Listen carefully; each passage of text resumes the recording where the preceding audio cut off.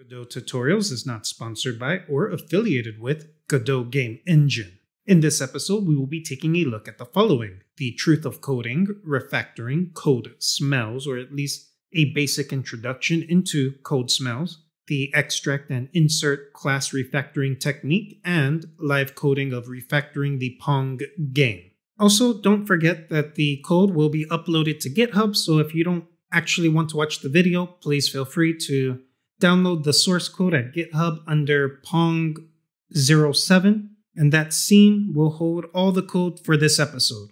Anyway, moving on. Now let's take a look at the truth of coding. And this is true regardless of game programming or software development. And that is, coding is a process. As a matter of fact, in my personal opinion, I would separate the process into 70% of the time you will be thinking, structuring, and editing the code base, and 30% of the time you will be coding the features. And as a matter of fact, writing good code is not an act of genius. Being a good coder is having a way of thinking, structuring, and editing code that makes it easier for you and others to see what the code is doing. Refactoring is restructuring existing code without changing its behavior. Changing behavior would be adding new features. Now, keep in mind that your code is a living, breathing, and ever changing aspect of your project you may find yourself applying multiple refactoring sessions over the course of your project, especially as more features and ideas come to light. Now, why exactly should you refactor your code? And refactoring your code allows people to quickly learn, understand, and debug your current code base. In this regard, new people that come onto projects don't know what the code base is doing, and so readable code allows them to learn and understand the project. On top of that, existing people on projects may forget about feature implementation. And so when they want to add a new feature that's based off of an already existing feature in your project, refactored code, which is just readable code, allows them to quickly learn and understand certain parts of the project so they can go ahead and quickly implement new features. Refactoring code is an art form, and it comes with practice. And with any type of refactoring, there are no simple rules. There are just general guidelines. As a matter of fact, there are no right answers, and over time, you will get a better sense of what needs to be done. And I would say that this is hard to show in a tutorial, but I will try my best. On top of that, rules and general guidelines can be broken. Since general guidelines can be broken, refactoring, in my personal opinion, is that refactoring code is 100% subjective. Each individual programmer has their own standards, their own beliefs, and how and when you should refactor. And again, refactoring is best learned through practice. So the more you code and the more you refactor, the better you get at it. One way to start off with identifying when to refactor is to look at coding smells. Now, what exactly is a code smell? Well, a code smell is an abstract indicator or characteristic that shines a light on a deeper problem in your current project. Basically, they are signs that code or certain parts of code in your project can be refactored to look cleaner. And again, when identifying code smells, these are 100% subjective. Regardless, some common code smells you may run into your journey are the following large classes, which is what we have as the main issue currently in our Pong project. You may also find duplicated code. You may find issues with comments, meaning that there are too many comments or there are a lack of comments. You may run into long methods. And lastly, you may run into conditional complexity, which are just large conditional blocks in your code, such as nested statements, this could be if statements, case switch statements, and while loops. Now, again, these are all subjective because, for example, what constitutes a large class? And there are no hard rules for that. Another example of code smells being subjective is how much is too much when it comes to duplicated code. On top of that, how many comments do you need? Another subjective question is what is considered a long method? And you can start seeing here why code smells are subjective. But regardless, let's look at the large class. So why are large classes a problem? And Basically, large classes are difficult to understand and debug. On top of that, what makes a class a large class? And in my personal opinion, a large class is a class that does too many things. As a matter of fact, a class should be doing just one thing if it is able to. And one smell of a large class is if a class contains functions and or variables that do not relate to the purpose of the class it is currently residing in. The solution to that is to do the class extraction refactoring technique. The extracting class technique is basically taking a class that is too big to understand and splitting it into multiple classes. And this can be two or more classes. Now, some signs that your class needs to be broken apart is when multiple parts of your code seem to fit together better. On top of that, when a class has more than one responsibility it is doing. And on a personal note, a class that has more than 400 lines of code. However, that is not a hard rule, that is just a personal rule, and that also depends on what the class is doing. So, how exactly do we go about doing a class extraction?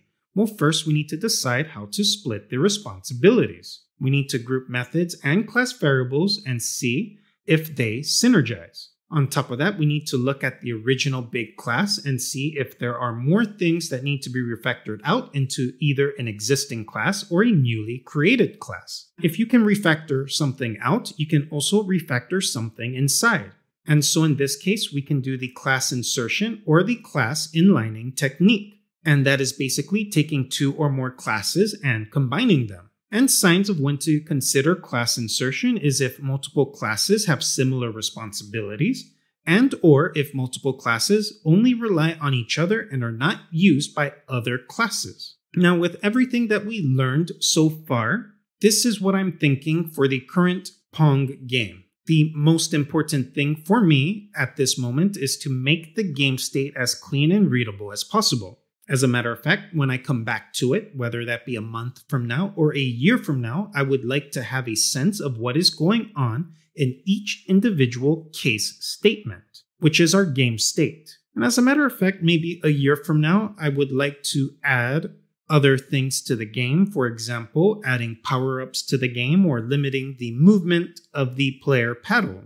So, after thinking about it, my game plan is to create classes for collision, the ball, on top of that, creating a class for the paddle, in which I would also create subclasses for the player paddle and the enemy paddle.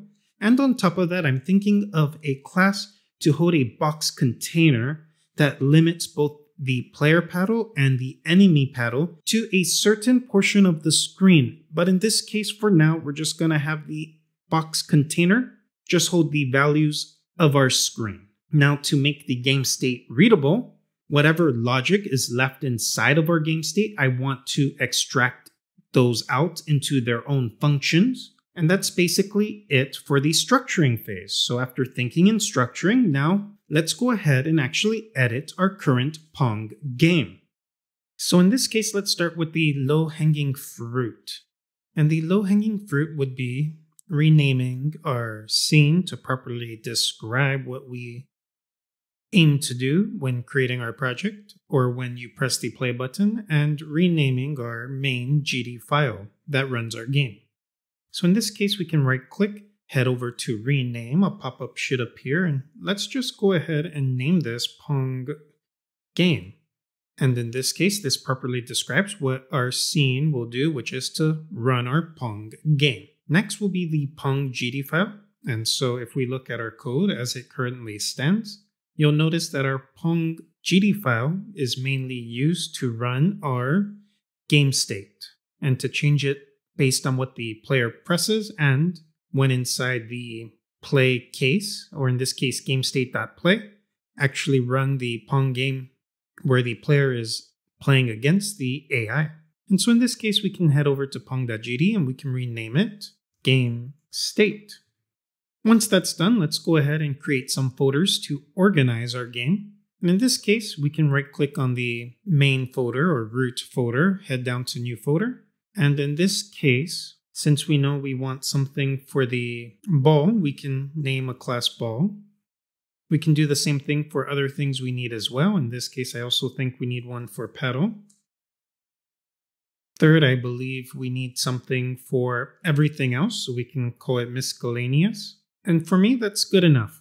And again, there's no right answers when trying to organize your file system structure or when it comes to refactoring. Regardless, again, just think about what you need to do, structure it in the way you think is the best solution to the current problem, and lastly, just go on and edit the thing. In this case, I think it's best to name each individual folder based on what I think we'll need. In this case, a paddle, which will have a base class subclass, a ball, folder for our base class ball, and maybe in the future subclasses and miscellaneous for other things that I'm not sure about just yet. Regardless, let's move on to actually refactoring.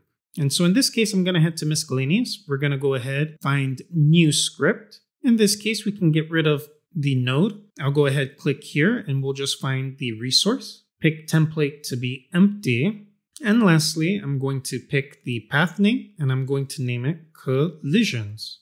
Lastly, I'm going to head to path and I'm going to name it collisions. Press create, select collisions, and let's go ahead and start editing. Now in this case, we're working on collisions because it is the next lowest hanging fruit in our refactoring phase, in my personal opinion. And really, we only use one collision detection, which is the rectangle to point collision. However, in this case, we can add our point to point collision just because I used that as an example in the last episode. And so in this case, we can actually use the static function and we can call it point to point. And in this case, it takes in two arguments. And in this case, we can create two parameters. And they return a boolean. We can just say point A dot X is equivalent to point B dot X and point A dot Y is equivalent to point B dot Y. And that's basically a point to point collision. And basically, both points need to have the same x values and the same y values. And that's basically a point to point collision. Now, what we really need to create is actually a point to rectangle. And that takes in a point value, which is just a vector 2. And more importantly, it takes in a rectangle value, which is a rect2. And in this case, we just want to return back a boolean because they are either colliding or not colliding. The rectangle has a position and a size. And if we were to just straight out write a return, it's going to be a really long line. And so in this case, let's create some variables every time we call this static function. And that's basically it for naming our variables. So again, rectangle left is rectangle's position on x-axis. Rectangle right is x-axis plus size on x-axis. Rectangle top is just position on y-axis. And rectangle bottom is the position plus the rectangle's size on the y-axis. In this case, we just need to make sure that our point on the x and y axis is basically inside our rectangle. And so that is really simple to check. In this case, use the return statement. And we shall say rectangle on the left has to be less than or equal to our point on that x-axis and our point on the x-axis has to be less than or equal to the rectangle on the right. And in this case, we can do the same thing for our y position. So in this case, rectangle top is less than or equal to our point on the y-axis and our point on the y-axis has to be less than or equal to our rectangle bottom. And that's basically it for our static function point to rectangle collision check. One more thing we need to do is add a class name. So in this case, class name will be collisions. And in my personal opinion, a class name should be the same as the file name, just makes things a little easier. They don't have to be. So because we are using the static keyword, that means that we don't have to create a class instantiation of collisions every time we need to use the methods. We can just immediately and directly call the point to rectangle method. And so let's go ahead and do that. In our game state, we can go ahead and replace out everything that looks like a point to rectangle detection. In this case, I'm just going to delete all this code here. It's going to throw some errors, but regardless, this right here, these two if statements, is basically our point to rectangle collision. As you can see here, we are testing against the x-axis with the paddle and the y-axis of our ball with the paddle. Now in this case, what we're going to do is actually call the collisions function directly. So collisions dot point to rectangle takes in a vector and then it takes in a rectangle. So in this case, we can just say ball position. So in this case, we have a ball position here, which is our vector 2, but we need a rect 2 value, except we don't have anything of that sort right now. And so we need to create this ourselves. We need to pass it in the player position and then the paddle size. And that will give us our rectangle that we can check against the ball position and we will refactor this out later. But for now, we are just trying to make sure that we're removing unnecessary code to make it a little cleaner. So in this case, rectangle 2, player position, and then in this case, paddle size. And that should satisfy our if statement. In this case, now that we have that, we can delete everything else. And right now, this error is just because of the paddle divide. But we do have our point-to-point -point collision. And in this case, we're just going to borrow from here the var temp ball speed to change our speed value, and that should remove the error. Now, now in this case, I don't like what we have here. Even though we fixed the error, I want to actually change this. And so what we're going to do is to add randomness to the collision just for testing purposes. We won't keep this forever. But what we can say is, in this case, since ball speed is a vector 2, we can actually create a vector 2. We can replace that with ball speed for the x position to reverse the direction. And on the y, we can actually do something like rand range. And we can say any value between negative 400 and positive 400. And so as you can see here, we've created a collision detection between our ball and our player paddle. Now, as you can see here, we replace basically 10 lines of code with two lines of code that does the exact same thing. As a matter of fact, I'm going to copy and paste this, remove and we will replace that with two lines of code again. We can keep everything the same. All we have to do is change this into the AI position, keep everything the same, and it should work. Basically, every time we have a ball that collides with a player paddle, we change direction for the x-axis, which is reflected back, give it a random range on the y, so which we will change later on. And we do the same thing if we collide with the AI paddle. And as a matter of fact, we need to test this out. And so if we were to run this, you can see that the collision works.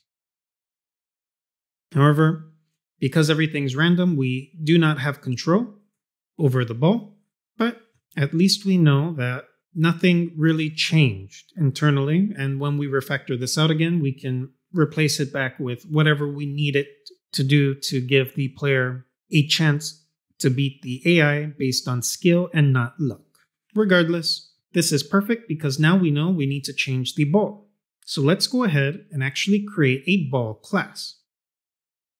So from here, we can go back to our editor. So in this case, to create the ball class, right click on the ball folder, click new script. In this case, we do need a node 2D. We can choose template to be empty, we can give the name of our ball class just ball, ball.gd. We can go ahead, create it, double click on the ball.gd file. Let's go ahead and give it the class name ball. Now we need to go back to our game state GD script file, and we need to basically find all the code that would belong to a ball class. And so we can see here we have ball variables. On top of that, we do have a ball speed. We also have a player speed, but I think that's just for the paddle. And really, the ball speed activates in the play state. You can see that our ball position changes here. And more than likely, we also need to reset everything to the center. And so you can see here that in the player is serve or is not serving, we do change the ball speed. And in the set starting position, you can see here that we do reset the ball. So by looking through the code and trying to figure out what the ball is doing throughout the code, we can figure out for ourselves what we need for our ball class. So what I'm going to do is I'm going to organize everything together,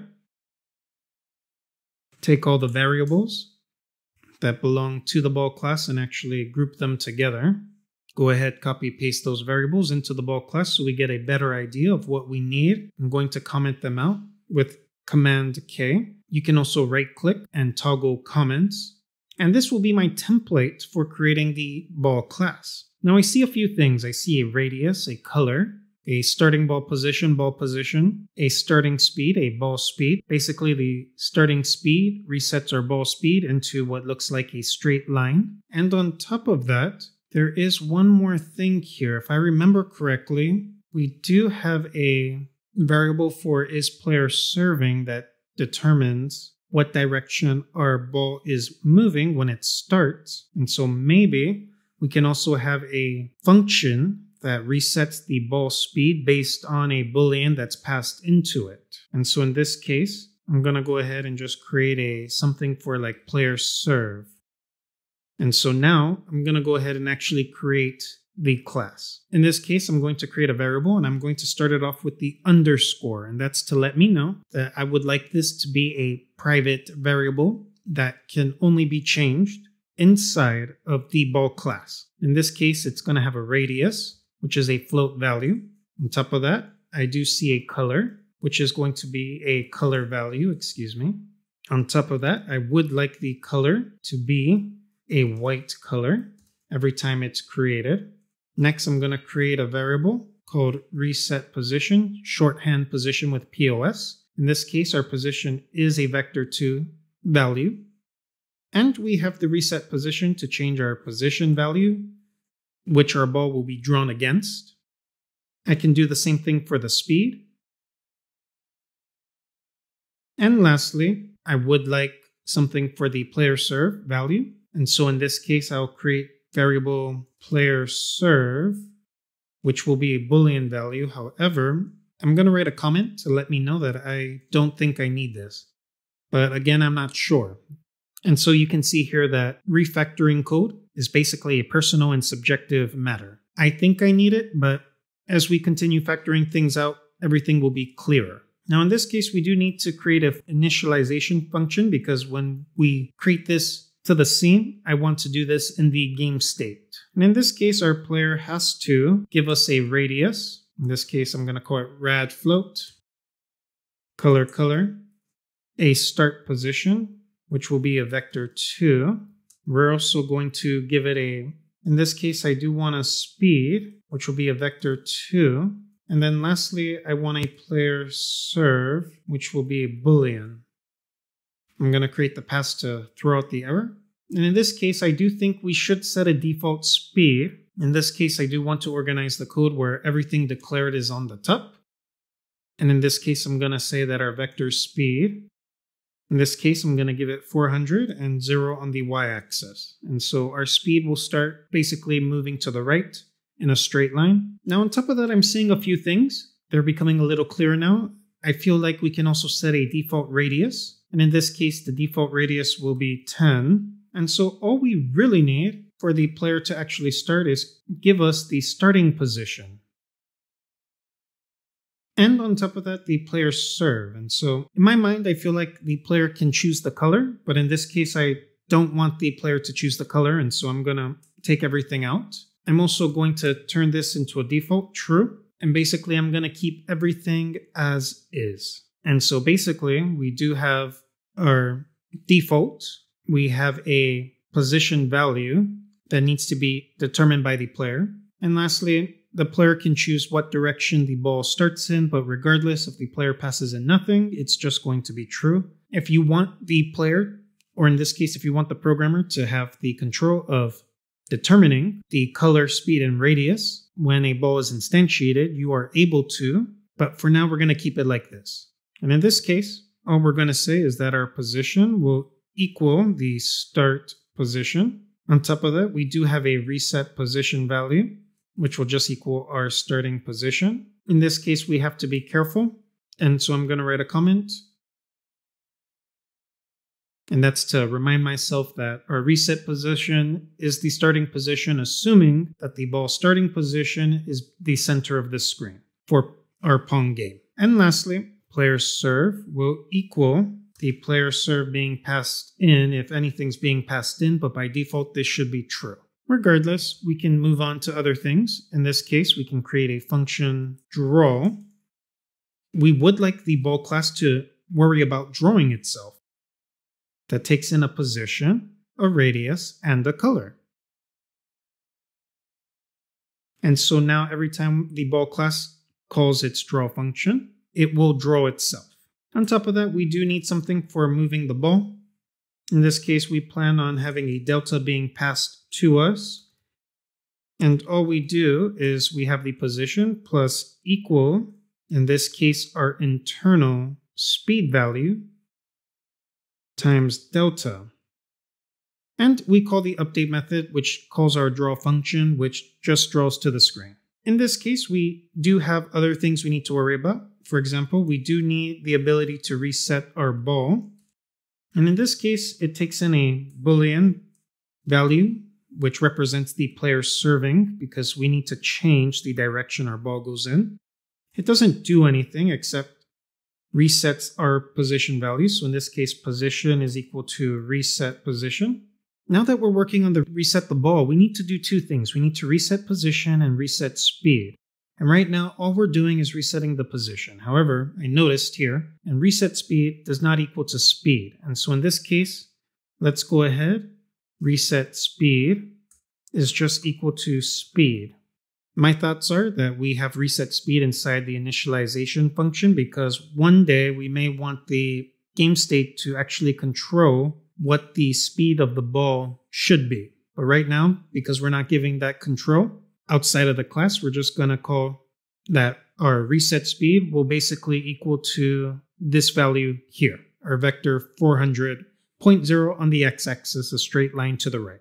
Now that we've created this, we can actually come here and reset the speed. And so in this case, what we will say is our speed value will equal to, and we will use something called the ternary operation, but it's just an if statement in a single line. And in this case, it will equal reset speed if player serve is true, else, and in this case, negative reset speed. In this case, if the player is serving, our speed will be in the positive direction, so moving to the right. Else, that means it's the AI serve, and so if the AI is serving, the ball is moving to the left. Now, once we've resetted the position and speed, we can go ahead and actually call our update method, which draws our ball to the screen in what we assume to be the center now, on top of that, I'm thinking of a few things. I'm thinking of the fact that our ball needs to move itself. And so when it collides with the top or bottom of the screen, we need to inverse the speed on the y axis. And we also need to invert the x axis when the paddles hit the ball. So in this case, in this case, we're going to call a function called inverse y speed. And what we can do is our speed on the y axis will just equal the inverse of that speed on that y-axis. And that's it for inversing the y speed. In this case, we can do the same thing for inversing on the x position as well. And it's basically just going to be the same thing we had in the game state. And as a matter of fact, let's go ahead and find that line of code where we change the ball speed. Here we go. And it's just vector 2 inverse the speed on the x-axis and pick a random range. And we can do exactly that. In this case, it's just going to be speed on the x random range. And lastly, if we go back to our game state, we do see a few things. For example, we do need the ball position. And what we can say is function get position. It will return back a vector 2. In this case, we just return our position value.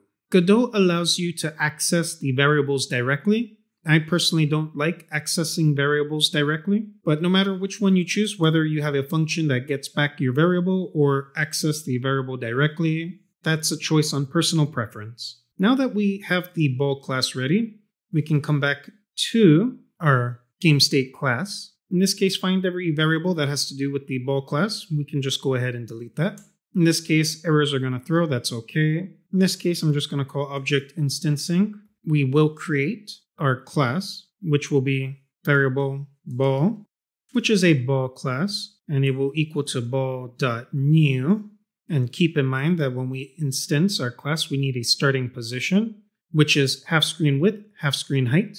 And so in this case, vector 2, we can just leave it as is because the second argument will be true and we would like the ball to start moving to the right the first playthrough. Now, what we need to do is actually add this ball class onto the scene tree. And so in this case, what we will do is call add child, and all we need is the node. And so in this case, it's just ball, and it adds itself to the screen. Now, in this case, after we added the ball class, we need to find all the errors and replace the line of code with the function inside the ball class that has that logic. So in this case, we pass it is player serve. And we can do the same thing here.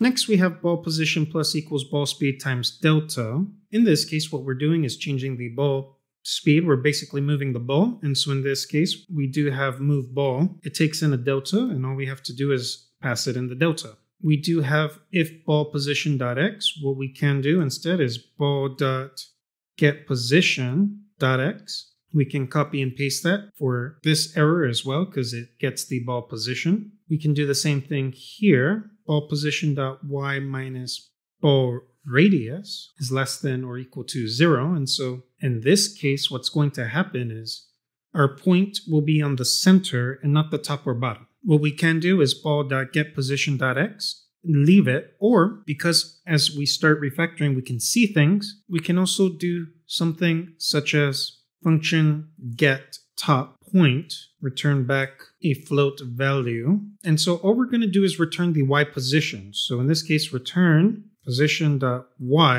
and we're going to subtract by the radius. And that will give us the top position for our point. And we can do the same thing for get bottom point. So bottom point is position on the y-axis plus our radius. And so I'm going to go ahead, copy paste this, head back here, and in this case, we could leave it as get position.y. I had the x position, so I changed it to y. So we could either have ball.getPosition.y or we can just ball.get top point because we're comparing the ball's top point with zero, which is top of the screen. And we can do the same thing down here, which is ball.get bottom point greater than screen height. Now that we have ball here, we can, in fact, just copy paste get position and replace ball position with ball.get position. Do the same thing here in our collision as well. And that's basically it. We're just copy and pasting.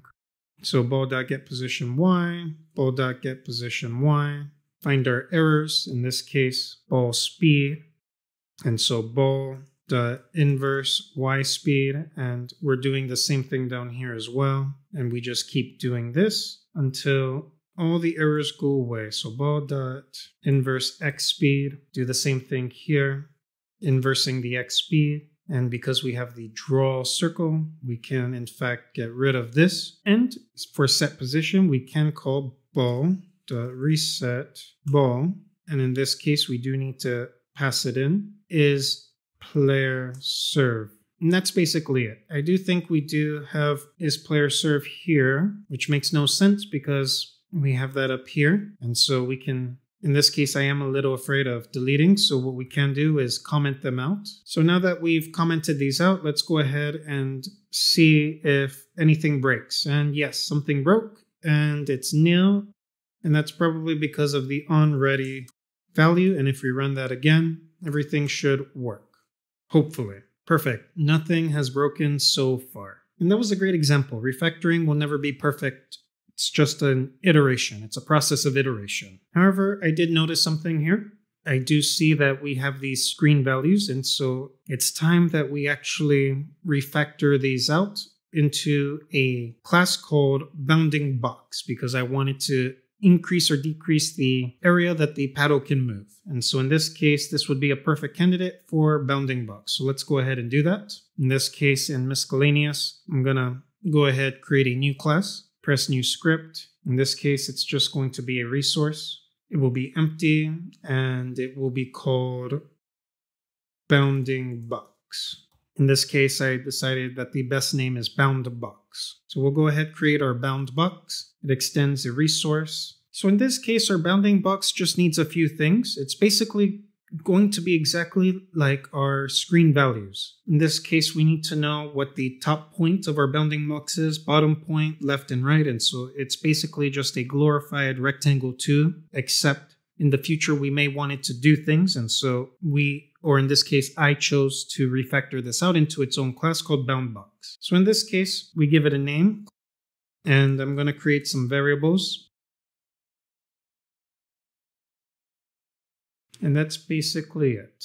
In this case, when we create our class, we do want to initialize and we do want to actually pass it any rect2 and it does nothing. However, what it does is we can pass values inside of our class to manage it.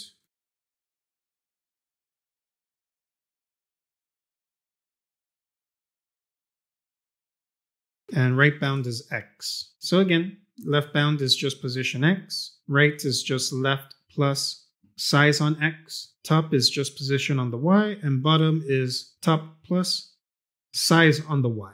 And that's basically it for initialization. Now in this case, we need our bounding box to return values based on whether or not an object is beyond the bounds of our box. In this case, our bounding box or our bound box is just the screen value as we start. In this case, all we're really doing is function and is pass left bound, and we take in a position value, which is just a vector 2, and all it does is it returns back a boolean, and we can just say return position or position.x and make sure that we are greater than or equal to the left bound. And that's basically it. So in our rectangle, if we were to draw a rectangle, for example, if this highlighted was our rectangle and our x position is beyond the rectangle, then is past left bound is true. And we also want one for right bound. And as you can see here, this is basically what we're doing for the left side of the screen and the right side of the screen. And we can do the same thing for top and bottom as well. And that's basically it. Now, if we pass the left side of our box, return true. If we pass the right side of our box, return true. If we're past top, return true. And if we are past bottom, return true.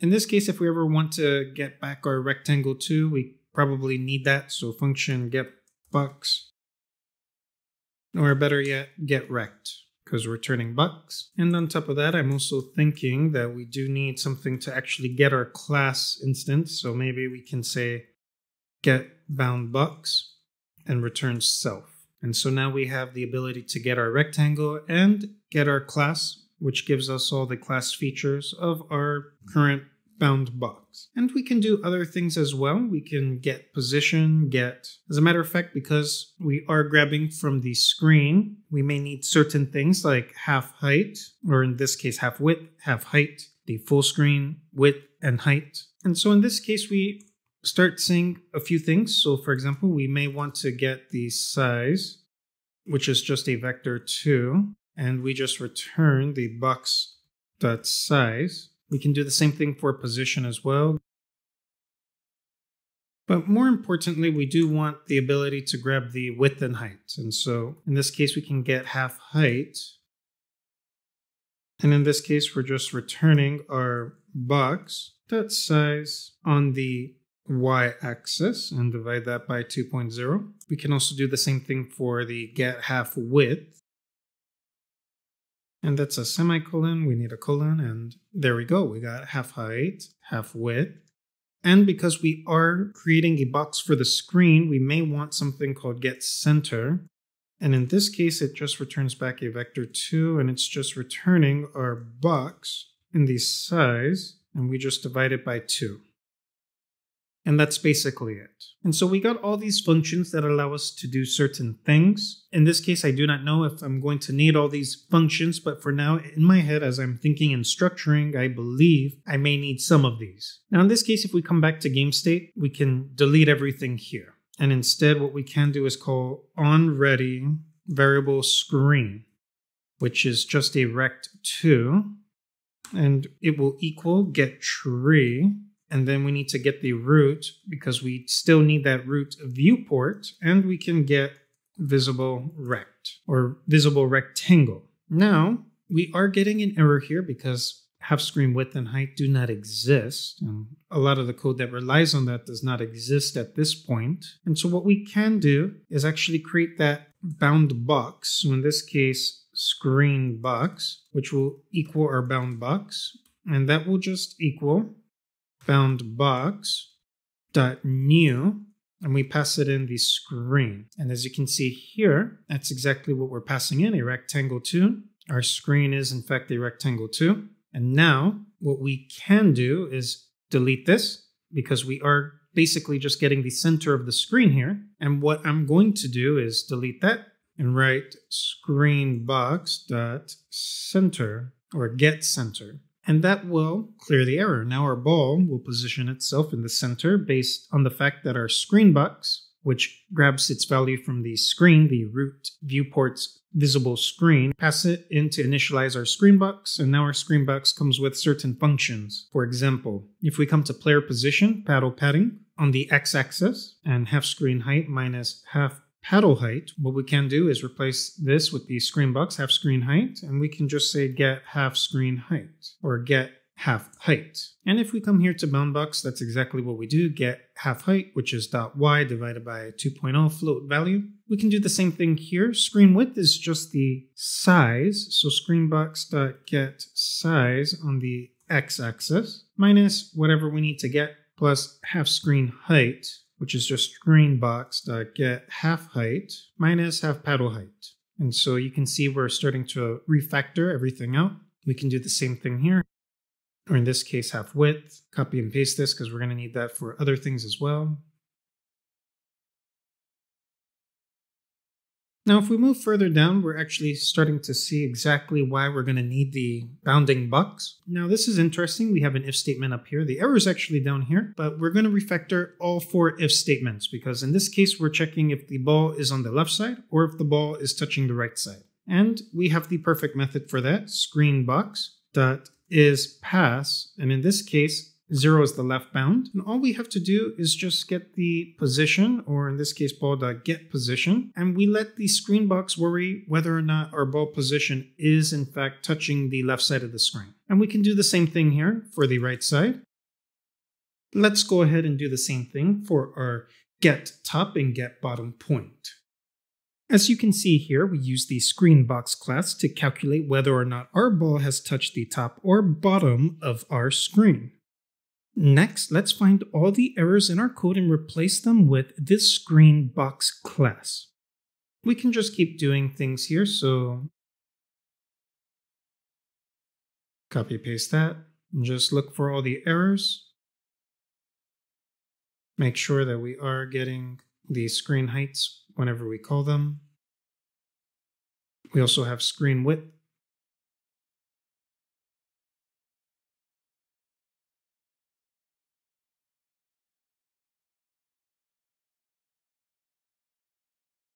And that's all we're doing. We're just replacing the code that we think we need.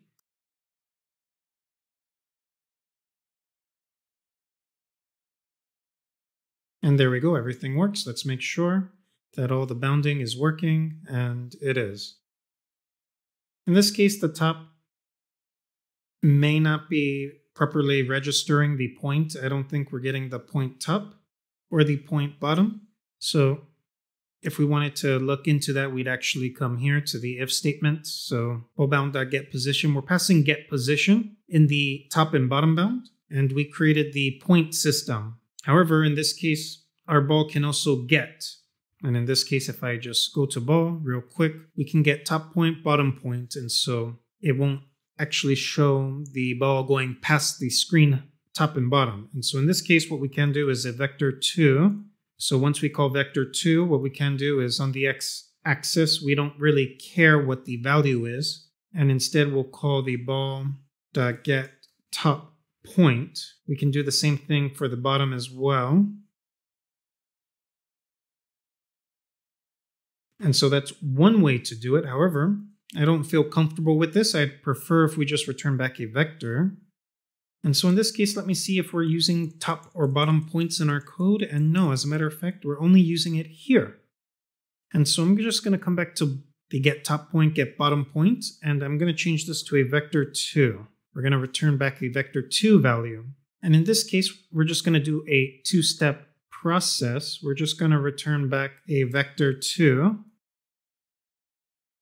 And in this case, our position dot x for the x-axis and position dot y minus radius for the y-axis. We can do the same thing here for the bottom point, making sure that we add the radius instead. And so now we can actually get rid of this vector.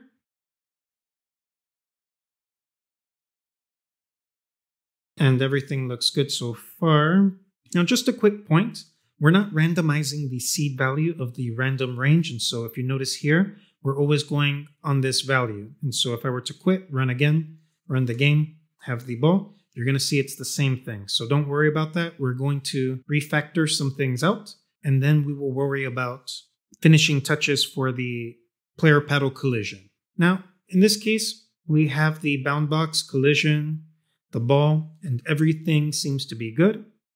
However, in this case, what I want to do is I want to create a paddle class. And so if we come here, we can click new script. We can call this paddle.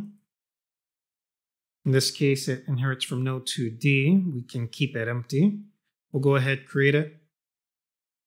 We'll give this the class name paddle. And then we're going to go to game state and we're going to group everything together here for the paddle.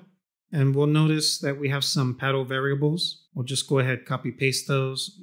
We have a player paddle, an AI paddle, and I want those to be subclasses, so we will not worry about them. Now, the reason why I want to create subclasses for the or the player paddle and AI paddle is because we do have custom settings. So in this case, we do want the player to be on the left, AI to be on the right. And so in that case, the paddle class should not worry about positioning.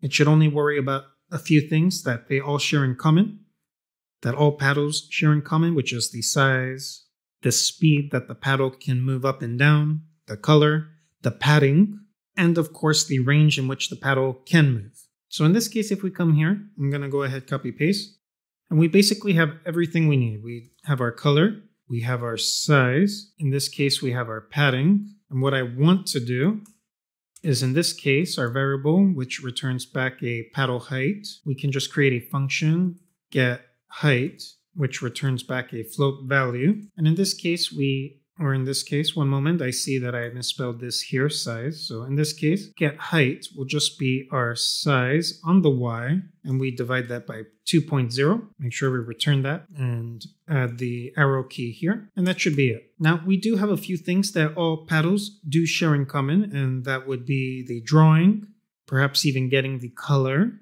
getting the size, getting the rectangle, and of course, resetting the position. And so I'm thinking we need to add extra variables. And so what I'm going to do is fix that. So variable, padding, and everything looks good so far. And of course, on top of that, we can just add some things like color, make sure that we declare what they are, float, color vector 2, add some more things. I'm thinking maybe a speed. And so in this case, I'm going to start using underscore to represent private variables. And in this case, what we want is a speed. And we can say vector 2. Because our paddle can only move up and down, we only need to worry about the y-axis. So in this case, let's say that the paddle can move 400. Write a comment to remind ourselves. Only moves in y-axis. And in this case, the error is thrown because we used underscore now. Of course, we need a reset speed value. And we'll just make sure that this equals to the speed. And that's only if we're going to add power-ups to the ball. I don't I don't see myself doing that in this series, but it's just there just in case because that's what I'm thinking right now. We can always delete code towards the end if we have a finalized version of our game in which we know we're not going to add anything to it. Now in this case, I'm also going to add a variable. In this case, variable half height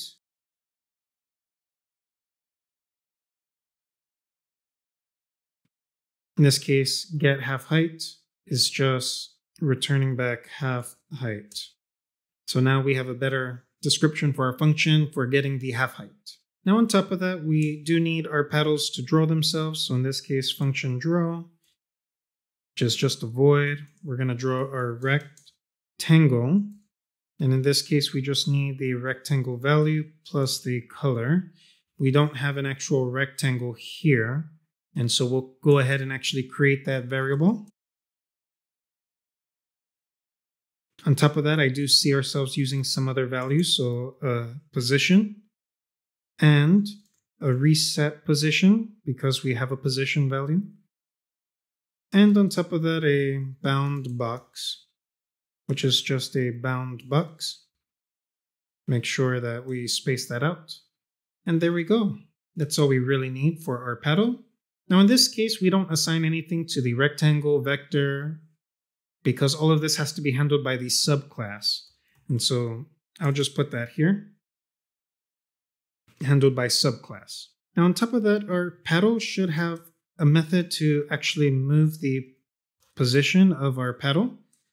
In this case, it doesn't do anything, but regardless, we're only moving up or down. And so in this case, what we will do is clamp our position value based on the bounding box or the bound box. And so from game state, if we come to clamp, if you see here, if input.is key press, key W, we move up.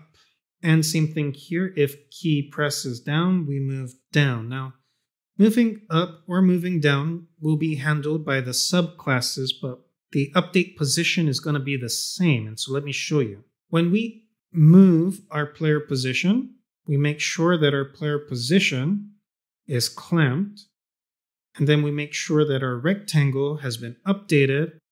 And then in the draw method, we actually draw that rectangle. And so we're really doing three things. One is we don't care whether we are moving up or down. We only care that we are clamping between values between our screen box. Then we care about updating the rectangle because it's the rectangle we need when we actually draw to the screen and also a paddle color. And so in this case, I can just go ahead and copy this for reference. I'm just going to put it up here. Let the errors throw, but regardless, position.y is going to clamp itself to our current position on the y-axis. Now this zero here is the top of the screen. However, we're not guaranteed that we're given the top of the screen. And so in this case, we can say bound box. On top of that, what we can do is do the same thing, bound box dot get size on the y position again and minus it by our current size on the y-axis. And that's it for the clamp. We can do the same thing for the player rectangle we can say that our rectangle is just equal to a new rectangle value of, in this case, our position and our size. And then lastly, we can just update, call the update to draw to the screen, and that's basically it. So we have update position. However, update position doesn't do anything because we need to have some functions that allow us to move up and in this case, we can write void or move down.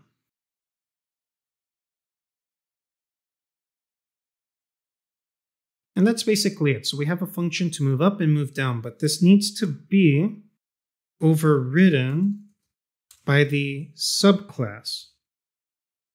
However, it's not mandatory that subclasses override classes, but in this case, what we will do is we'll assert false and force it to update. So in this case, our game will never run, or if the player moves up or moves down, we will actually call assert, we'll call false, and then what's going to happen is we're going to write here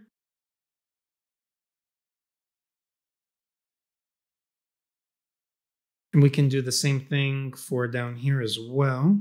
And we can say move down. And that's basically it for now. And then lastly, I do see a need to reset our position. So in this case, reset, which will just be a void.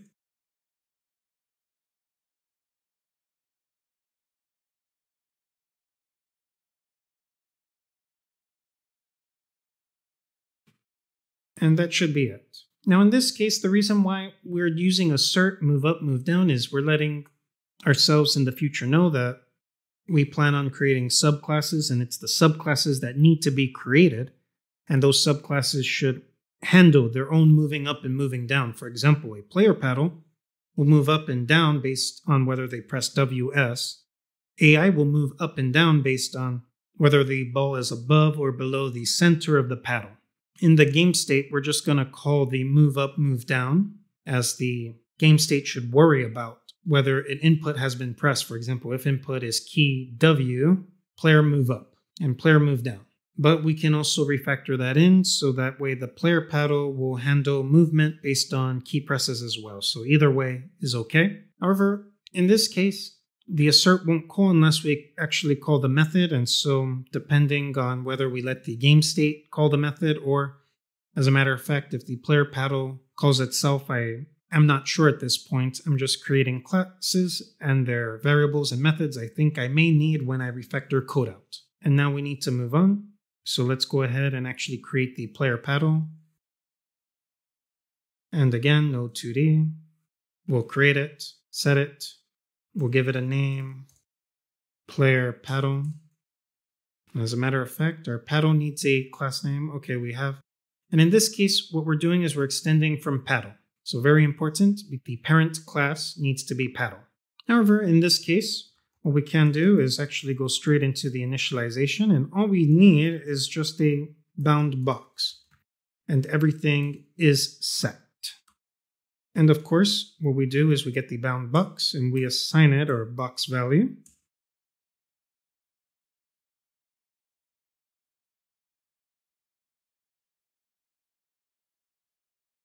Now, because we're dealing with the Pong class, what we can do is check for movement and so I'm thinking that we let the player paddle actually deal with movement.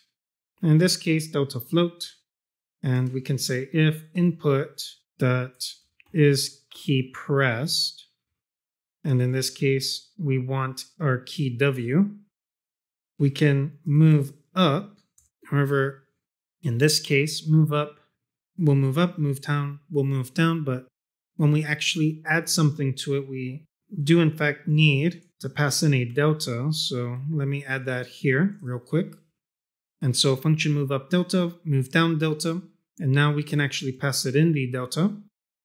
And we can do the same thing, copy and paste that, because if the key press is S, then we can just move down. And lastly, we do need to update, or in this case, update position.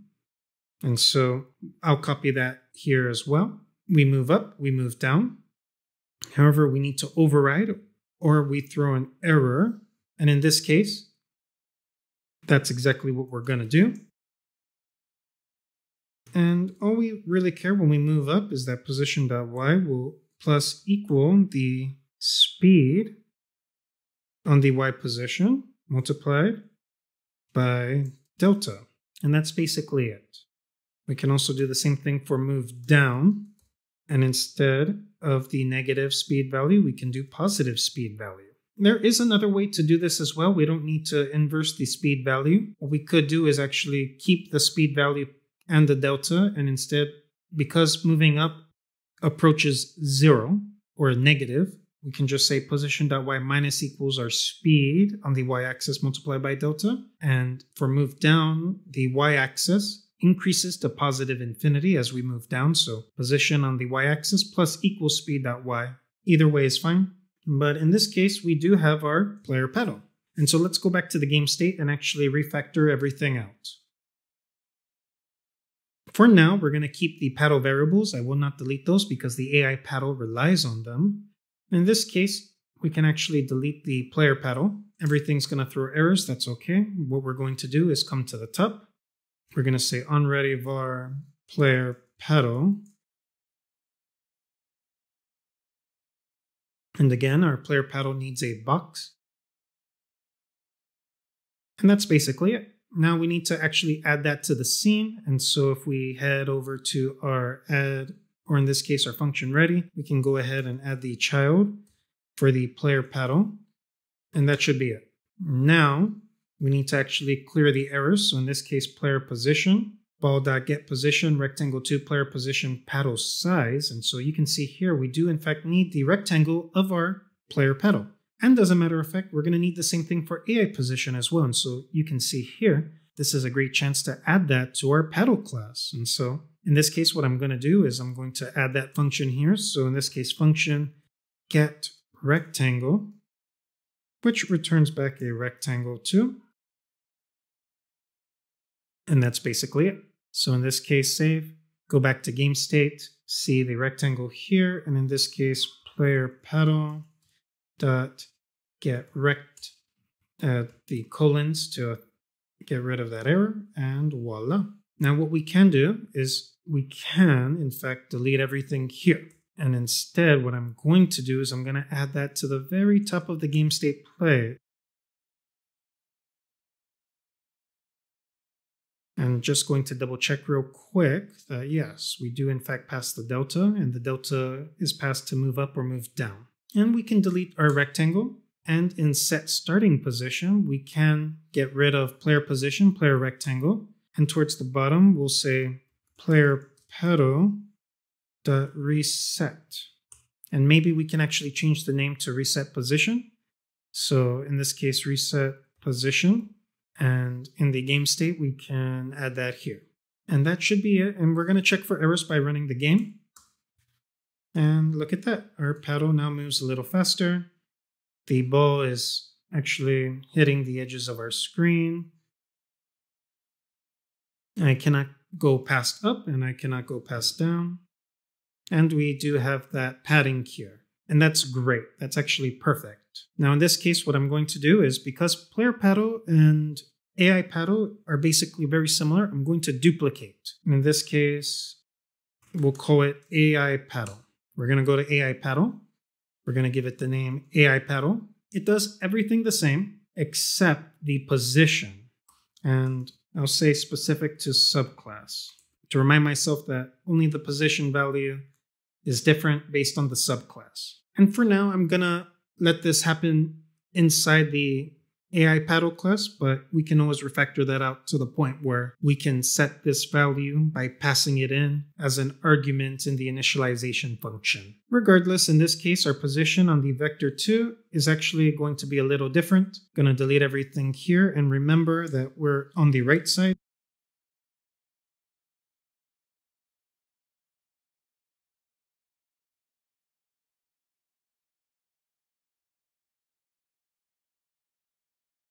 And that should throw out the error specific to a subclass. It's also good to have that in our player paddle as well to remind myself that position is based on whatever we add in the class. And that's basically it. Now, for the check movement, we have to do something a little differently. First, not only do we need the delta value, but we also need the ball value, or in this case, the ball position, which we can just call ball position, which is a vector 2. And we can say if ball position y is less than or equal to our current position dot y. And of course, we would like everything centered, so half height. We will say move up. Now, in this case, if our ball position is higher or is less than the center of our paddle, then we move up. Else, if our ball position on that same y-axis is greater than or equal to our position on the y-axis plus half height, then what we do is we move down and we pass in that delta value. And in this case, that's what we get. Add the colon there, forgot the colon, but regardless, in this case, if the ball is higher than the middle of our paddle, we move up. Else, if the ball is lower than the middle of the paddle, we move down. However, our AI has something a little special in that we do need a buffer. So in this case, I'm going to call it a chase buffer. And what it really is is a float value. I'm going to set it here, and we're going to call it 15. In this case, I'm going to add parentheses. So in this case, what we're saying is if our ball position is not only higher than the center of the paddle, but is past the buffer zone, then we move up. And we can also do the same thing here as well. In this case, we add the chase buffer. And what we say is if the ball position is lower than the center of the paddle plus the chasing buffer, we move down. And we can keep this the same. Now, if we go to the game state, we can actually take everything outside of the AI paddle. And we can refactor everything out. So in this case, we're going to delete everything for the AI paddle. We're going to do the same thing. Take that AI paddle and we need to add that to the scene. And now we can go ahead and actually get everything we need. In this case, we can say AI paddle.get rect and we can delete this line of code right here, delete our AI position changes right here as well. Come back to the top. And over here, we can say, in this case, AI paddle dot check movement, pass in the delta. And I'm going to refactor this out into here as well. And it takes in the ball position. And that's basically it. Our paddle checks for movement, our AI paddle checks to move, and then our ball moves. In this case, we delete our draw rectangle, make sure that all the errors disappear. Set starting position, AI position. We can delete that. We can actually delete this. We can AI paddle dot reset position. And in this case, we can delete this. And there we go. All we have to do is update our position and there we go. Set our starting positions. We move our paddles here in the play state.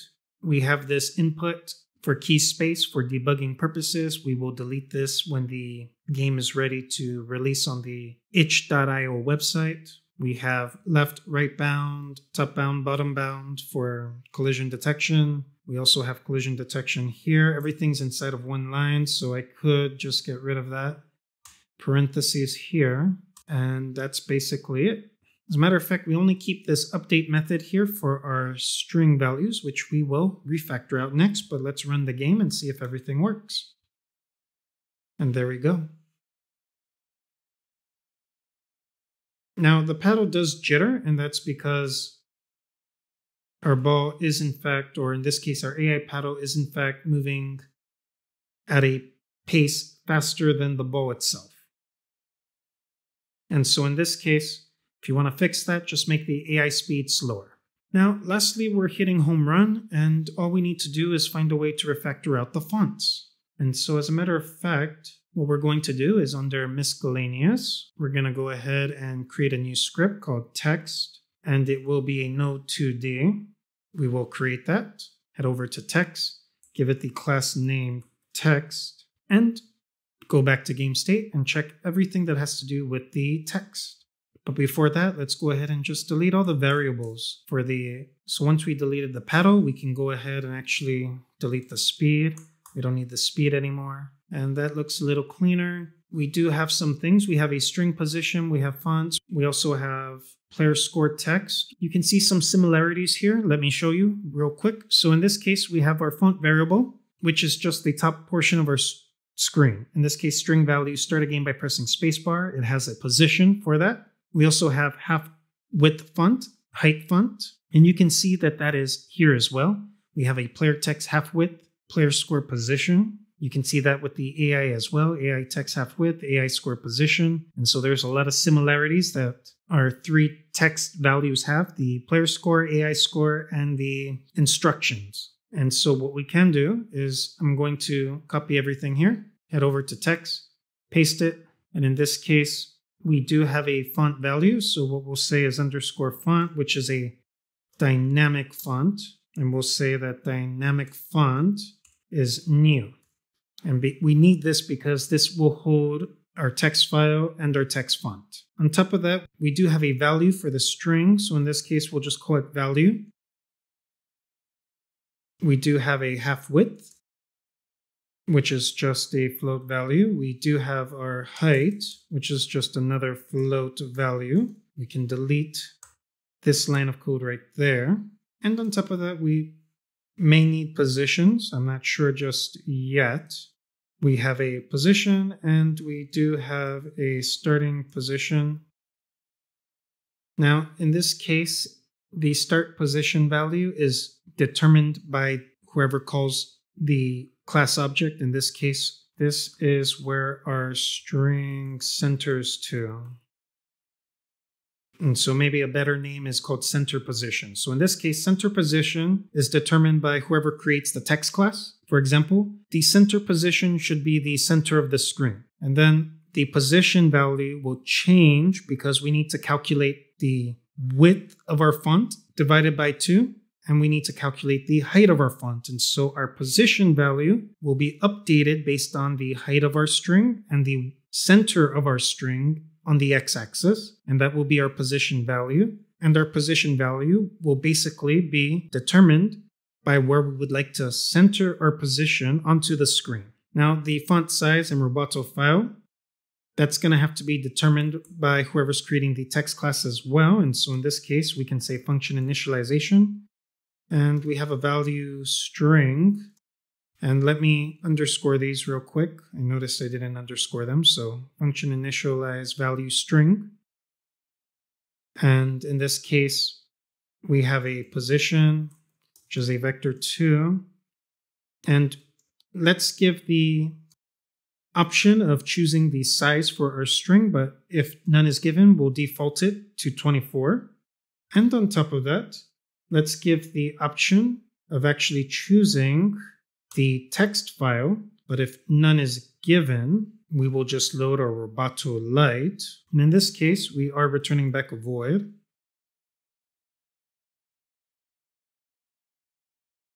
That should throw off the error, and we can just continue setting everything else up.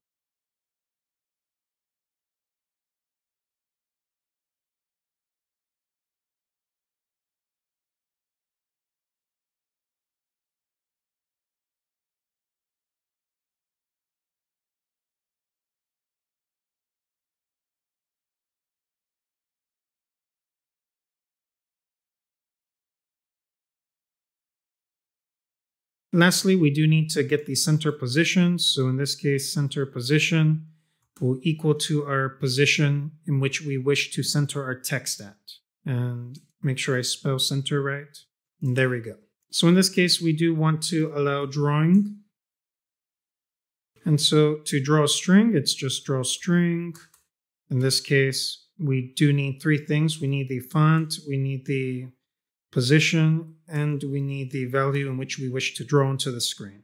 Next, we do need to actually set the position, update our string to set the position onto the screen. And so what we can do is, as a matter of fact, we can have a function called update string, update string, and I'm thinking we have a new value, string, we can call this new value and our value will equal to the new value.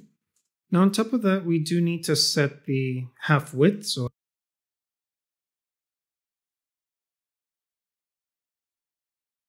in this case, what we need to do is get the position, pass it in a vector 2 value, and we need to calculate where our original center position is on the x-axis. We need to minus it by the half width and then we have to do the same thing for the position on the y-axis. But instead of minusing, we're going to just add the height.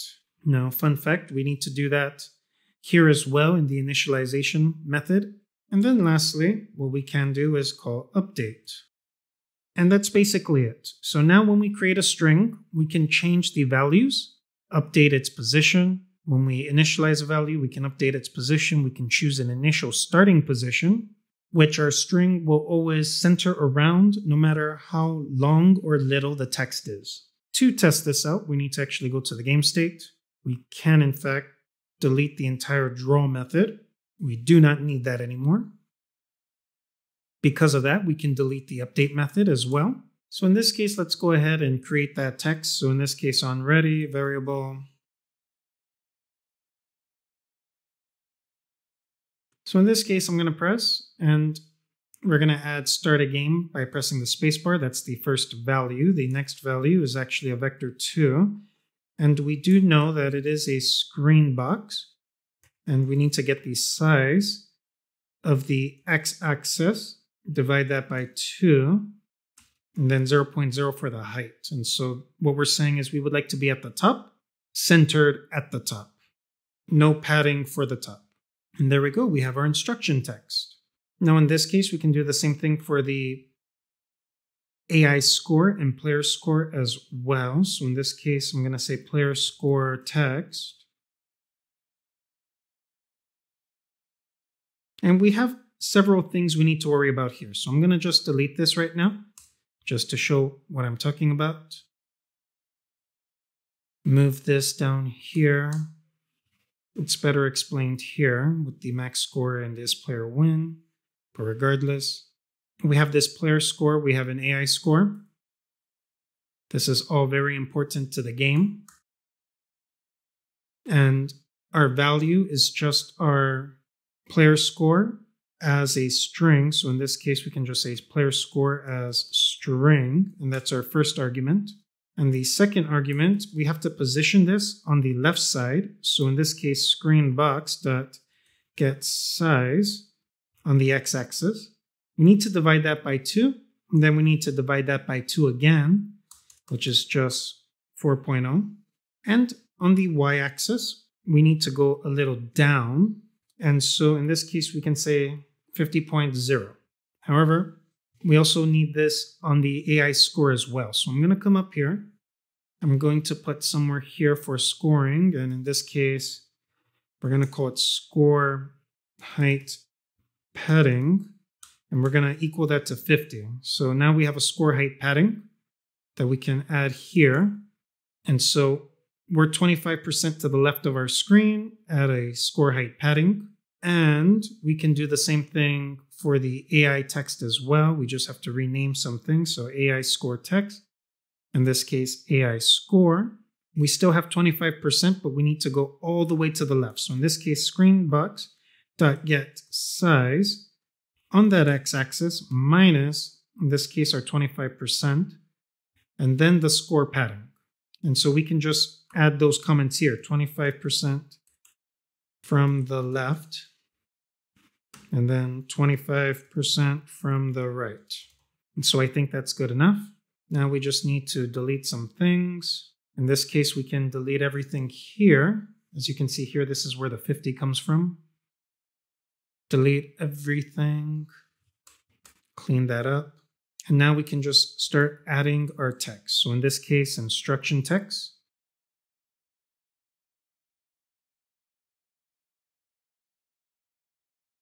And then from there, we just need to fix the errors. We can just say, we can do the same thing here as well. And then we just find all the errors and actually update them.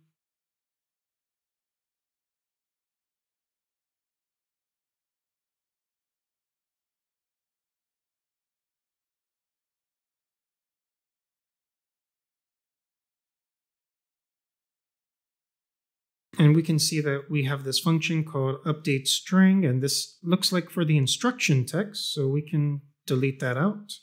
Go back to our string values, and in this case, instruction text. And we can do the same thing for where we see change string.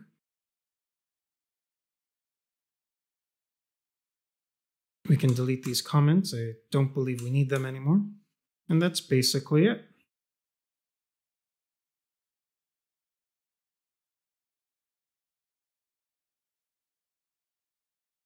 And there we go, everything seems to be working. And now what we need to do is refactor some things out. So in this case, I don't want this running all the time during our game state. It only needs to run once, and that's when we actually press the spacebar. So I can add that here. And as you can see, the more you refactor, the easier your code becomes to read. And so what started off as 300 lines of code has now become 138.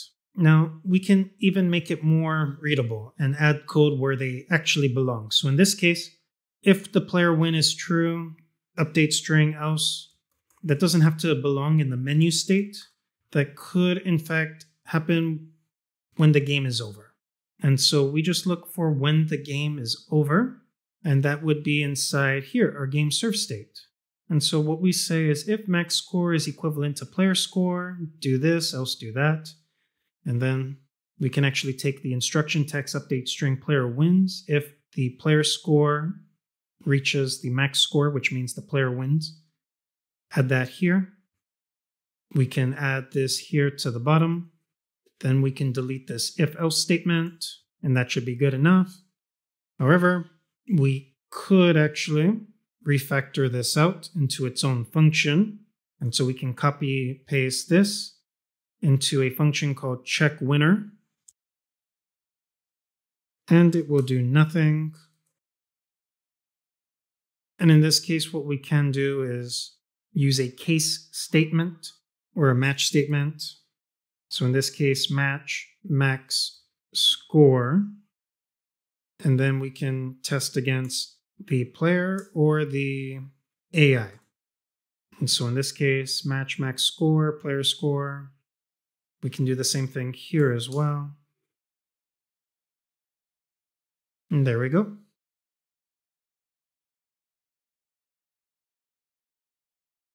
We can add that here.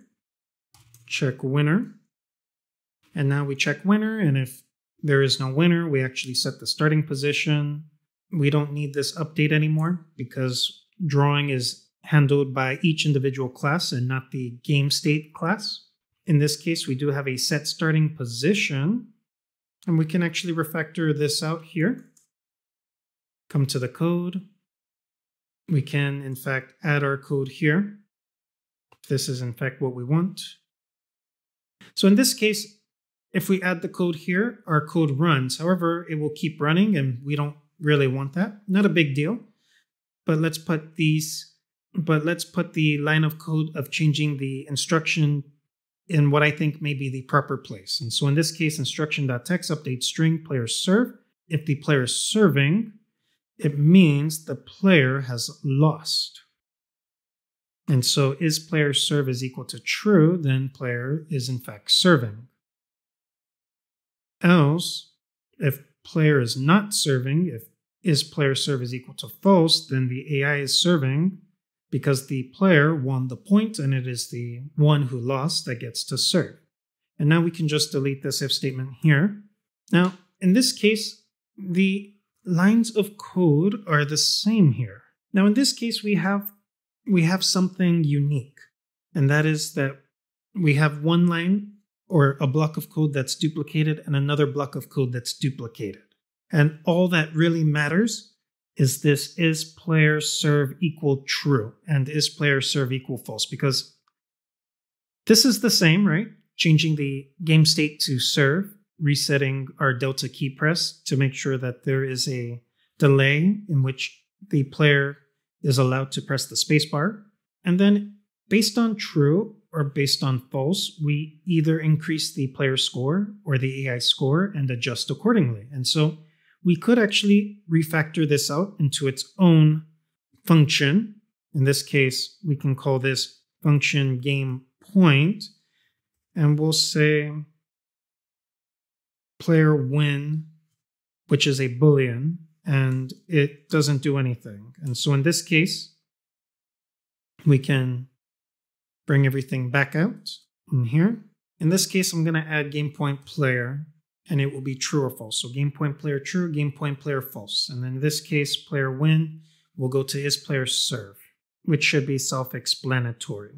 However, because if the player did win, then the player is not serving, and so we can just do the opposite. So if the player wins, the player does not serve.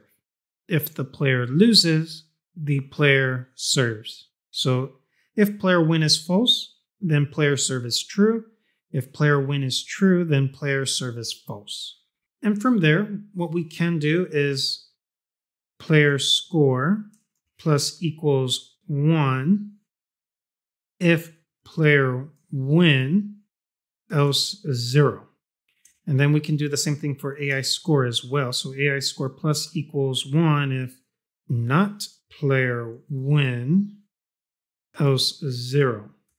And so in this case, we add a score only if the player wins, and we only add a score to the AI if the player lost. On top of that, we have an AI score text update string, but we can do the same thing for the player score as well. So player score.text.update string. And we only run that once in the game point. And lastly, based on whether or not our player did win or lose, we update the text. for player serve or AI serve. And so in this case, we can delete this here and we can say if if is player serve else and then we can say AI serve.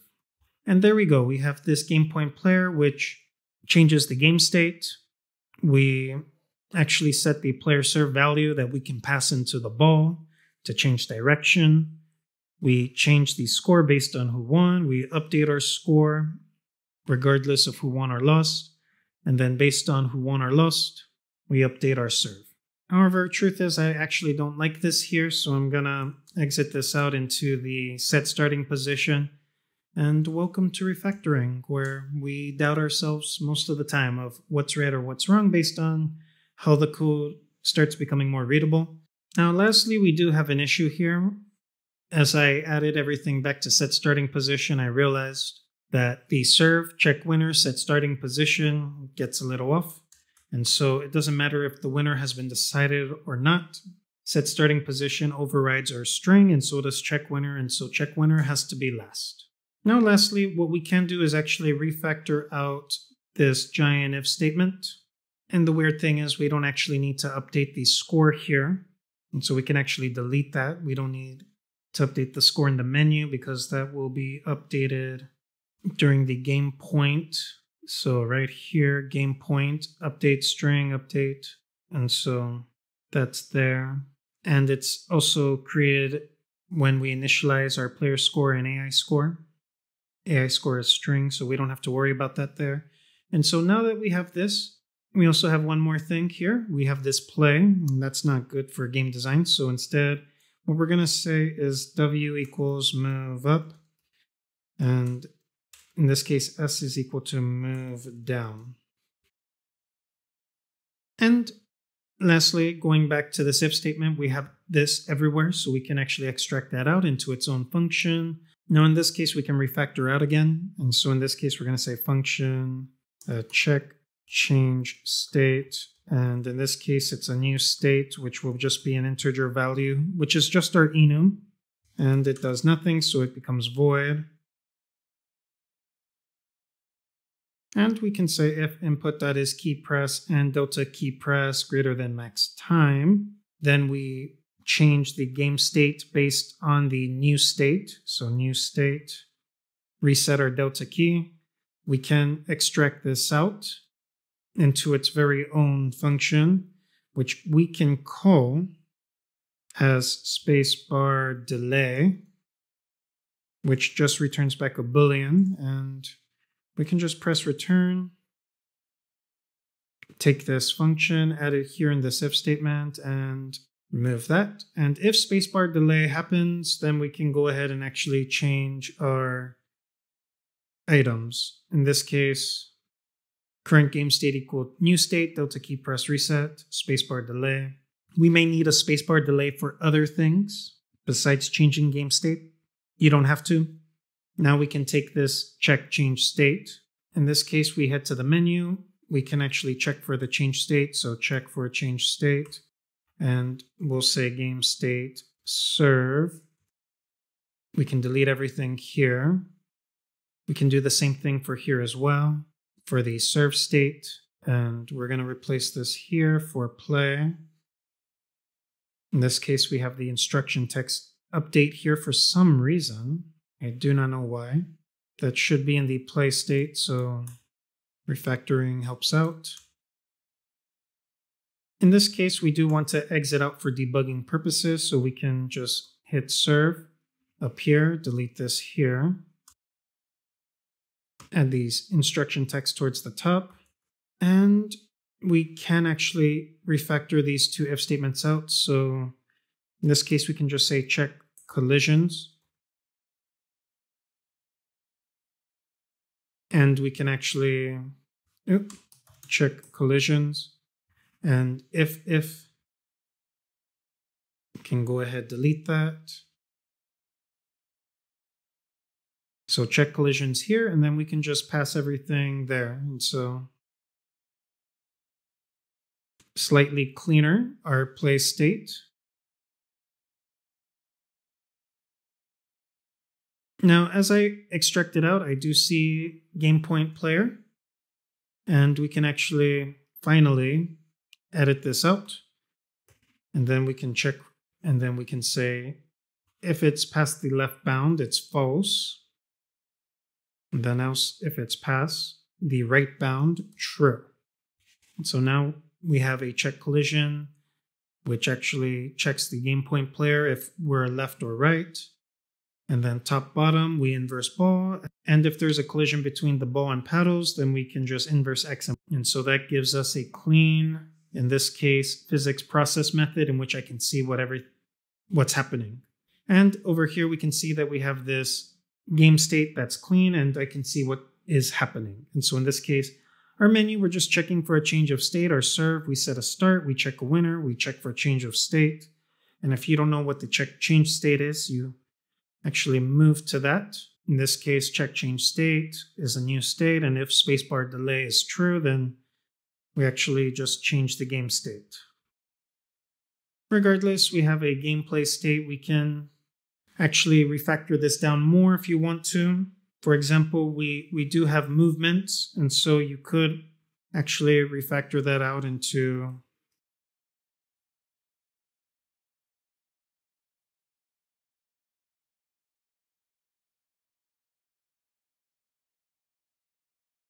pass in the delta float and pass in the delta here and that should be fine that should be it Nothing should break.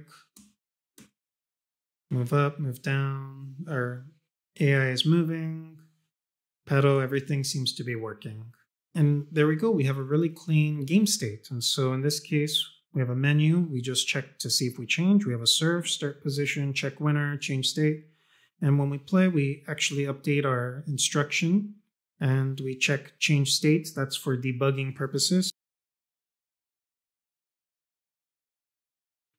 Then we move objects, we check collisions. Maybe put that at the bottom. And there we go. And that's basically it. That's basically it for refactoring. You can refactor more or less. And most importantly, we still got a test. So in this case, start a game by pressing the spacebar, player serve. And there we go. AI wins, press spacebar, Notice we didn't actually update when we came here. And so you can see that we're catching glitches. So in this case, set starting position is where we need to reset everything. And so we can actually just copy paste this here. Set starting position. So AI score text, update, update. Make sure that when we lose, we actually reset everything to zero. So check winner zero, zero, zero, zero. False, true. And that's the purpose of debugging.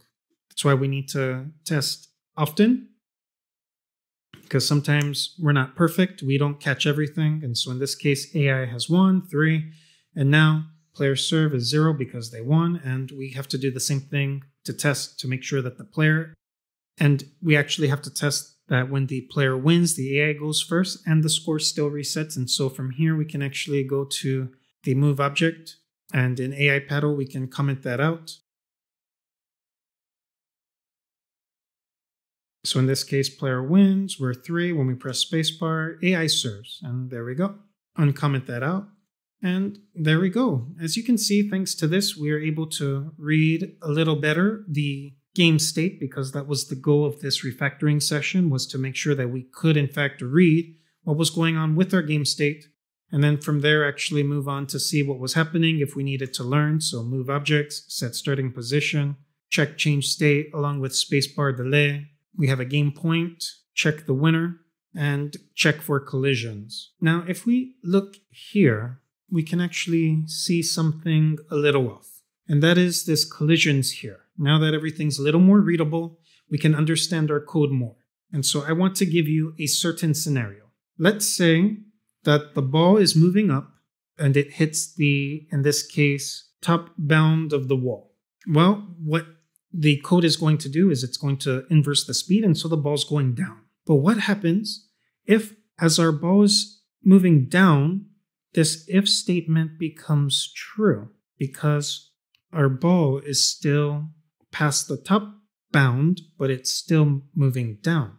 Well, what's going to happen is, and I don't think I've gotten this error just yet, uh, luckily, but there should be a point where the ball can, in fact, get stuck to the rectangle or the top and bottom of the screen. And so far, we're a little lucky in that this issue hasn't happened, but there may be a case where, when doing float value calculations, where the ball, even though it's moving down, is still past the top bound, and so our ball moves up, and so it moves down, up, down, up, down, up. And so, to show you what this looks like, what I'm going to do is I'm actually going to add this code here, ball.inverse y speed, to show you what this looks like. And so you see how our ball just moves up and down? Sometimes when we hit the ball, it might glitch and do that movement up here, or inside our rectangle, moving left and right like this. So it could get stuck in our rectangle. Well, to solve this, luckily we've created classes. And so this is a great reason why we create classes because when we run into problems, debugging becomes so much easier. And so in this case, not only do we want to check for collisions, we want to make sure that our ball is moving in a direction. So in this case, we can go here and we can say function is moving left and it returns a boolean and we just return in this case the speed on the x-axis and speed is a vector. Now we can do the same thing by moving right. And so in this case we need to make sure that if speed is greater than or equal to zero we are moving right. And we can do the same thing for moving up and down as well. So in this case moving up speed y is less than or equal to zero, we're moving up. And if we're moving down, and so in this case, if our speed y is greater than or equal to zero, then we're moving down. Now, so far we've been lucky that our code has been running correctly. However, we need to add these extra checks just in case. And so in this case, screenbox.is past top bound ball.get top point, and as long as our ball is moving up, then we inverse. That way, even if our ball is still past the top bound, which means even though our ball is still past the top of the screen, because our ball is no longer moving up, we will never call this if statement, therefore having that issue with the ball moving up and down really fast. And we can do the same thing here as well. And we can say and ball dot is moving down. And so when we touch the bottom of our screen, so when we touch the bottom of our screen, and as long as our ball is moving downwards, we're going to inverse the speed. And then we will never call this if statement again, even if our ball is still past the bottom portion of the screen. And we can do the same thing here for a collisions point to rectangle because we are checking for the player. We can say and ball dot is moving left because only when our ball is moving left and there is a collision do we reverse the ball. And we can do the same thing here, and ball dot is moving right. Check that our game doesn't break. And there we go. Everything works, and even though we don't see a difference, there are, or rather, there may be a case where an error occurs and our ball does that weird moving effect, but luckily that hasn't happened yet. In this case, had I make the paddle sizes bigger, I think I could have hit this issue, but I'm not sure. But regardless, we have this moving up, moving down, left, right, checking for collision points by a rectangle and top and bottom of our screen bound to make sure that our ball continues to move. So let's go ahead and do a little bit of cleanup for the ball class. So in this case, I do want the ability to choose the speed when the ball is created. However, our player serve determines which direction our ball is going in, and since this is the case that, so in this case, because I do wish that the player chooses the speed, by default, we can determine where the serve is happening. Because right now, as written, this does absolutely nothing because we only rely on the player's serve in the reset ball method. So in this case, what we can do is actually delete this because our speed, basically, whether we're greater than 400 or basically what we can do is replace player serve equals true into speed, which will automatically equal to our vector 2 here. So we can just copy and paste that inside. What we can do is delete the assignment of our vector 2 onto the speed value. We can also go ahead and move that out down here next to our reset speed. Lastly, we can delete this because that will be determined by our speed. And what we can say is that our internal speed will equal to the speed value passed along by the player, if the player so chooses to do so. On top of that, our player serve will be determined based on the speed on the x-axis. So what we can say is player serve is equal to true if our speed on the x-axis is greater than zero, and we'll say equal to just to catch anything that's zero and greater than. So in this case, if our speed.x is greater than or equal to zero, that will be true. Else we just return false, and basically this is how we get our player serve. However, again, we do not really need the player serve only until our function reset ball has been called and that player serve is passed down. And as a matter of fact, I do see one more thing. When we reset the ball, we do get the player serve. However, we do not actually update the player serve here. And so what we can do is actually add that here. So player serve is equal to whatever is passed in here as well. And right now that looks good. However, there is a third option, and that is to actually remove the player serve value because our ball doesn't actually need that. And so we can, in fact, delete all instances of the player serve because right now, as I'm seeing the code and as I'm feeling out the game, I do not think we actually need the player serve, and that can be added later if needed. And that's basically it. We can also run the game and actually test out if our game is running into any issues by removing that. And that does not seem to be the case. Now, last, we do have an issue here, and that is that our speed, even though we declared it as a vector 2, when the player is given a choice, the player will have the ability to choose the speed on the x axis and the speed on the y, which is just our direction. However, in this case, we do not want to give them control over the y because when the game starts, it should be in a straight line. And so what we can do is actually change this into 400. And from here, what we do instead is we actually call a vector 2. And from there, what we can do is absolute the speed on the x-axis, and we can choose 0 on the y.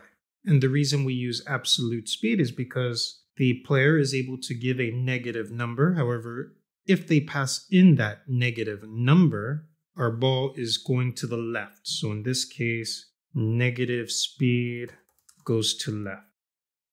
And we do not want that. And so the absolute method will turn negative values positive and keep positive values positive.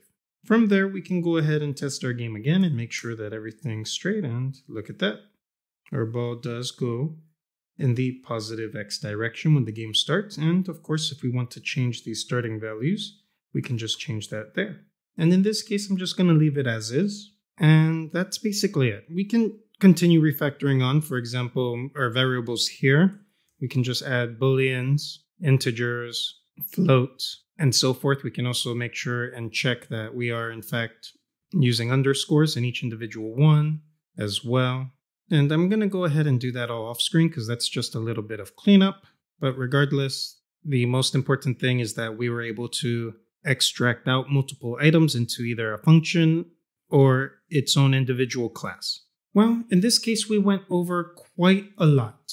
In summary, refactoring is 100% subjective. The way I wrote my code is neither right or wrong. It just satisfied a requirement in this case, my personal requirement that the game state be as readable as possible. On top of that, code can always be improved. the more time you spend on refactoring, the more your code becomes readable, clearer.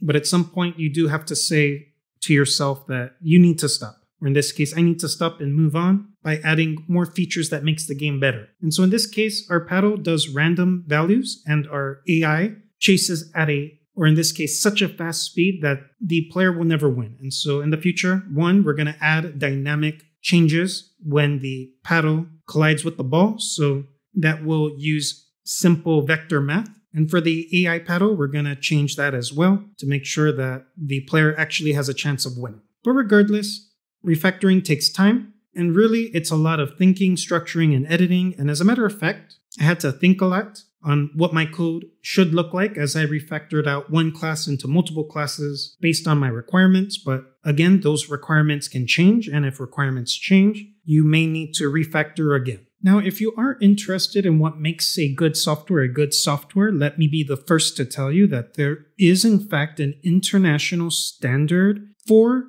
quality software or for making a quality software product. Now, in this case, this comes from the International Organization for Standardization, or ISO for short, and it specifically is the standard called 25010, which summarizes what a software product quality consists of. Now, in this case, I did come up with some of my standards from the maintainability section, which includes modularity, reusability, analyzability, and modifiability. I did not go over testability, that would be unit testing, for example. And this would be a great place to start. However, in my personal opinion, I think this is a little bit of overkill. Again, I'll leave links in the description down below for the ISO standard. So please feel free to take a look at that if you want to learn more about what makes a software a good software or things you may need to take into consideration when you want to make a software product a good software product. Regardless, well, that's all I have for you in this episode. Thank you so much for joining me. Thank you for clicking the like button and thank you for clicking the subscribe button. I look forward to seeing you in the next episode. Have an amazing day.